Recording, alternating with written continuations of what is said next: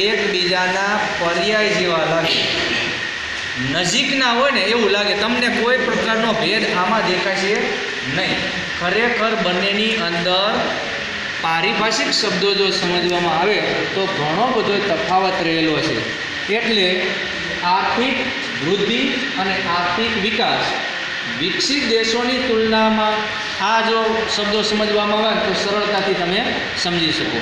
તો પહેલો તફાવત છે, વિકાસની પ્રક્રિયાને આધારે આર્થિક વૃદ્ધિ અને આર્થિક વિકાસનો તફાવત. પહેલું લઈએ, આર્થિક વિકાસ એ ગુણાત્મક પાસું છે. જ્યારે આર્થિક વૃદ્ધિ એ પરિણાત્મક છે. દેશની અંદર કેટલો વિકાસ થયો એ મહત્ત્વનો નથી. કેટલી વૃદ્ધિ થઈ મહત્ત્વનું છે.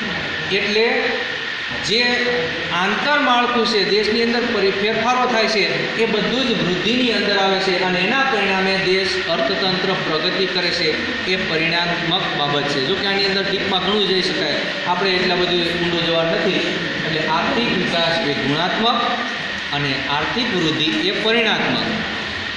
આ બંને વચ્ચેનો મુખ્ય તફાવત. નંબર બે, અર્થતંત્રમાં થતા પરિવર્તનને આધારે દેશના વિકાસની અંદર જે ફેરફારો થાય, અર્થતંત્રમાં જે ફેરફારો થાય, તેને આધારે કેવા પ્રકારનો તફાવત છે?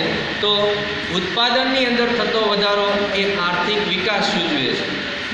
જ્યારે આ ઉત્પાદન છે, એ ઉત્પાદનની ટકાવારી, સરેરાશ જે વધારો થાય છે, તેને કહેવામાં આવે છે આર્થિક વૃદ્ધિ. હવે ફરીથી સમજીએ. ઘઉં, બાજરી, કપાસ દેશની અંદર વધુમાં વધુ વાવવામાં આવે એટલે ઉત્પાદનમાં શું થાય? વધારો. પણ આપણા દેશની અંદર એવી કેટલી જમીન પડતર પડી છે? ગૌચર જમીન છે. જેની ખેડવાલાયક જમીન નથી. એ જમીનને ખેડાણ હેઠળ લાવવામાં આવે. તો દેશના કુલ ઉત્પાદનમાં જે વધારો થાય તેને કહેવામાં આવે છે આર્થિક વૃદ્ધિ. ખ્યાલ આવ્યો? મોટા થવું, બાળક હોય મોટું થાય. એટલે શું થાય? વિકાસ થયો કહેવાય. પણ તેની અંદર બુદ્ધિ આવે અને ન આવે, તો એ શું છે? આર્થિક વૃદ્ધિ.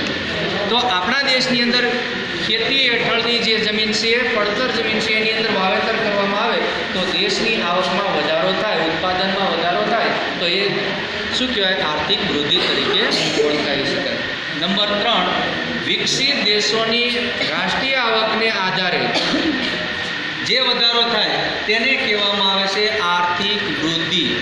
અને વિકાસશીલ દેશોની અંદર જે વધારો અર્થતંત્રની અંદર, ઉત્પાદનની અંદર થાય છે તેને કહેવામાં આવે છે આર્થિક વિકાસ. મોટા ભાગના વિકાસશીલ દેશ તે પાયાની સુવિધાઓ છે એમાં જ વધારો કરતા હોય છે. એટલે વિકાસશીલ બધા જ દેશોની અંદર મોટાભાગે આર્થિક વિકાસ જોવા મળે છે. જ્યારે વિકસિત દેશો છે એ બધા જ દેશોની અંદર શું કહેવાય છે? આર્થિક વૃદ્ધિ થઈ છે એમ કહેવાય. એટલે આ બે મહત્વના